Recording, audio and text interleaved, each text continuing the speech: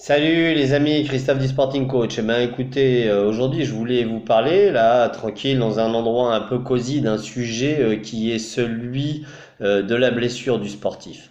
Alors, la blessure du sportif qui intervient quelques jours avant la compétition et donc qui induit la question de savoir si vous, en tant qu'entraîneur, vous devez prendre la décision de déclarer forfait pour la compétition ou de, de tout mettre en œuvre pour euh, que l'athlète ait une chance éventuelle de, de participer à cette compétition. Alors, je recontextualise. Euh, J'entraîne une, athlète en savate boxe française qui, de, qui a participé au, championnat d'Europe de, de savate boxe française sous, la forme ASSO. Et donc, on a fait une préparation qui a duré euh, six mois six mois où euh, on a bien travaillé, où elle est arrivée euh, à la fin de la préparation avec un, conditionnement physique impeccable, avec euh, une préparation technico-tactique aux petits oignons et avec un mental donc prêt à tout déchirer. Une semaine avant, le, avant la compétition, on a fait une dernière séance de mise de gants pour régler deux ou trois petits détails, se donner confiance.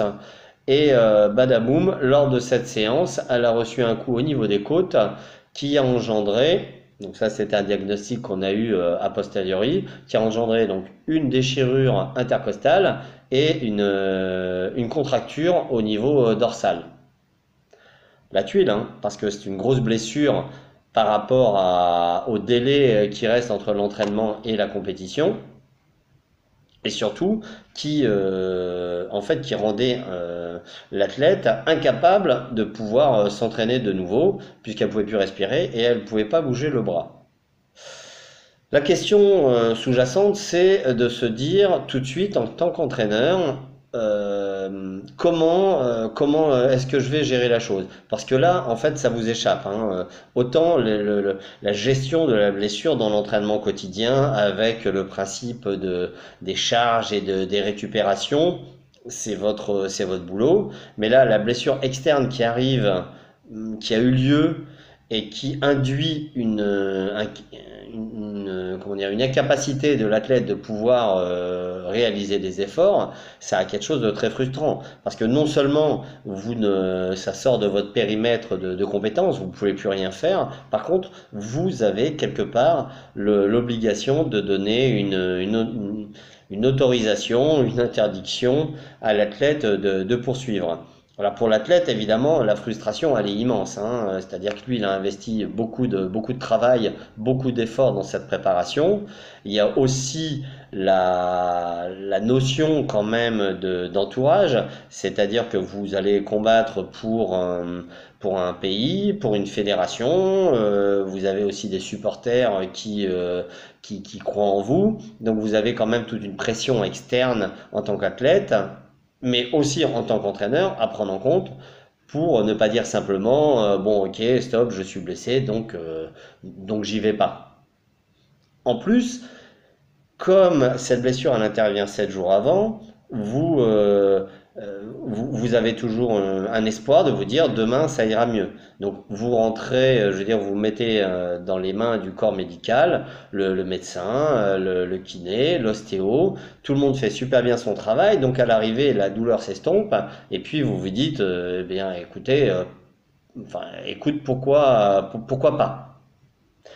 Mais déjà, euh, déjà, quand vous êtes à 100% de vos capacités euh, physiques, euh, psychologiques, euh, technico-tactiques, vous n'êtes pas sûr de, remporter la, victoire. Donc quand vous êtes diminué, honnêtement, vous n'avez plus aucune chance de, gagner. En tant qu'entraîneur, je, je le sais. Mais vous êtes un peu emporté par le wagon de l'espoir collectif. Et puis euh, et puis vous dites toujours s'il n'y a qu'une 1% de chance de, réussir ah, pourquoi ne pas y aller? Évidemment, euh, le jour de la compétition, enfin le, le, tournoi euh, se déroule et euh, vous, comprenez que de toute façon rien ne va, l'athlète n'est ne, ne, pas à 100% de ses capacités et puis de toute façon se reblesse et, et donc dans l'incapacité de, de pouvoir poursuivre la compétition. Donc la question, en fait, que, puis il est aussi de votre devoir quand même de, de, protéger l'athlète pour pas que la blessure s'aggrave et que euh, ça l'handicape pour la suite de, de sa carrière sportive et puis de, sa vie d'homme ou de femme euh, au quotidien. Donc la question en fait que je me pose moi c'est euh, quel choix je devrais faire quand il y a une blessure qui arrive comme ça, très très près de la compétition? Est-ce que je devrais euh, suivre cette espèce de, de, de- de- d'engouement collectif, d'espoir, euh, en se disant, ok, on sait jamais euh, sur, sur, un coup de chance ça peut passer, ou rester sur vos positions en disant de toute façon, quand on n'est pas à 100% de ses capacités totales sportives, on ne peut pas gagner. Moi, j'ai discuté avec pas mal d'entraîneurs qui sont euh, expérimentés euh, également, qui, euh, je veux ont, vécu ont vécu ces situations. Et pour être franc, tout le monde m'a dit, ben, on tente. Voilà, il y a personne qui m'a dit, on arrête. Si, effectivement ça arrive euh, très très très près à deux jours de la compétition, ben on n'a aucune chance. Mais quand on arrive comme ça dans des délais entre 7 et 15 jours, on a toujours l'espoir euh, que, ça va aller mieux. Voilà. Eh ben, écoutez, donnez-moi, euh, donnez-moi aussi vos retours, votre expérience en tant qu'entraîneur, en tant qu'athlète, pour savoir si vous aussi vous avez vécu ces situations, quels choix vous avez fait, est-ce qu'ils ont été bénéfiques ou pas? Parce que, euh, parce que moi aujourd'hui, avec l'expérience que j'ai, ben, je ne sais toujours pas vraiment euh, quelle, euh, quelle décision je dois prendre quand, quand ce genre de pépin arrive. Allez, merci et ciao ciao les amis.